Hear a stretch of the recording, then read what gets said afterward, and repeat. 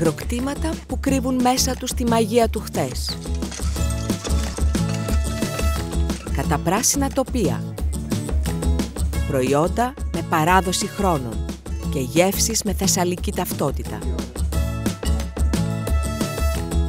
Ένα τραπέζι Τρίκαλα. Ένα τραπέζι Ελλάδα.